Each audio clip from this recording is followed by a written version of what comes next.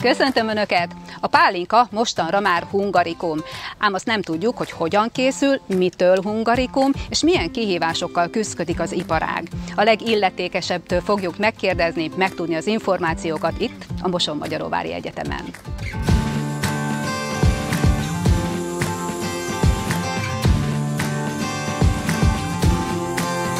Mitől pálinka a pálinka, és mi a specialitása a magyar pálinkának? Olyan, hogy magyar pálinka olyan nincsen. A pálinka csak magyar, tehát csak Magyarországon termesztett vagy termelt gyümölcsből Magyarországon készült technológiával gyártható, és itt kell beletenni az üvegben is, és itt kell az üveget lezárni, ennek nagyon fontos jelentősége van akkor, hogyha külföldre akarok vinni pálinkát.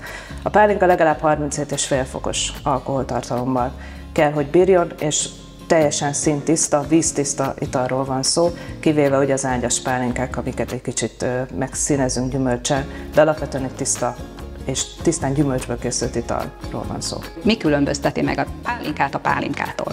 Elég nagy különbség van a nagypapa pálinka és az üzemi pálinkák között természetesen. A nagypapa egy nagyon egyszerű vindűből, ezt a helyek ismerik, készített egy zsíros készített pálinka főzőt, egy labor kellett hozzá, illetve valamilyen gázláng, és lehetőség szerint két kutya, hogy a navosokat, illetve hát az akkori fináncokat ne, ne engedje be.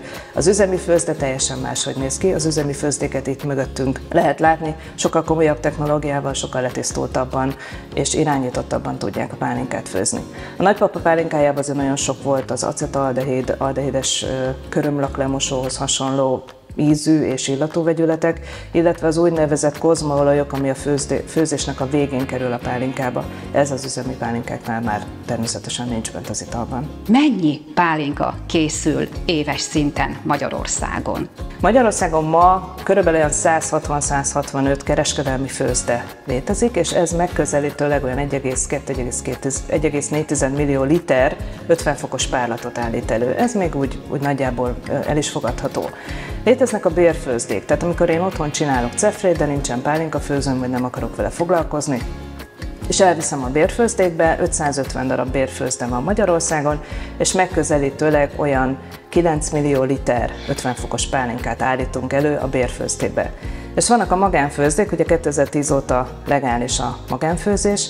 Magánfőzdék hivatalosan 25 ezer darab magánfőző van kint az emberek birtokába, ugye a bejelentések alapján. Valójában azt mondják, hogy ennek legalább négyszerese, tehát elfelejtik az emberek bejelenteni, és ebben a közel 100 ezer főzőben megközelítőleg olyan 14 és 16 millió liter 50 fokos párlatot állítunk elő. Atya úristen, és ez mind elfogy? Hát szerintem igen. Ígértem a nézőknek, hogy kicsit arról is beszélünk, hogy az utóbbi időkben hát lehet, hogy nehézségbe ütközik most már a hazai jó minőségű pálinka elkészítése, mert hogy itt van egy éghajlatváltozás. Bizony. Erről mi a tapasztalat? Sajnos ugye a klasszikus gyümölcsök, a szilva, cseresznye, barack, körte, ugye ezek a klasszikus gyümölcsök, amiből pálinkát főzünk, egyre nagyobb problémát jelent ezeknek a termesztése, ezzel mindenki találkozik, nem csak azok, akik pálinkát akarnak főzni, hanem akik lekvárt, jó minőségű barackot évek óta nem lehet kapni, illetve ha lehet, akkor is az ára rettenetesen magas.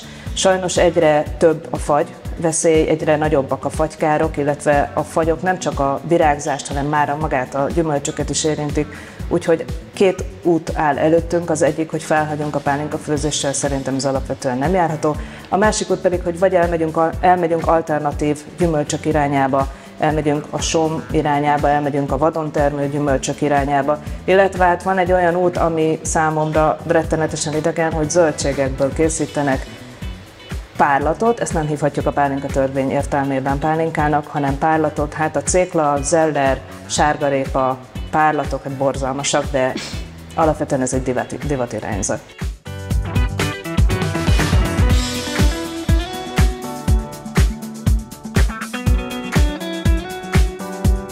Itt van velünk Rácz Ferenc, ennek az üzemnek az atya, szíve, lelke.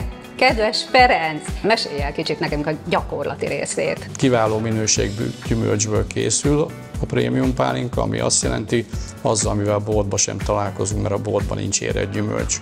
És amikor a gyümölcs beérkezik, lerakodják az M10-es ládákba például a teherautóról, kamionról, meg van mosva, mosóválogató szalagra kerül, onnan a passzírozógépre, ami kiszúrja a magját, lepasszírozza a gyümölcsöt, ezek után pektin bontóval, faélesztővel és sav használatával elkészítjük a cefrét. Mindössze ez a három dolog használható a pálinkához, semmi más nem enged meg a törvény. Hidegen erjesztünk, hűtött irányított terjesztés van, és 5-7-9 nap múlva maximum üstre kerül ahol a főzés nyilván egy kulcskérdés, abszolút profi gépeink vannak, teljesen zárt rendszer, és ezek után pedig a tárolóba kerül az elkészült pálinka.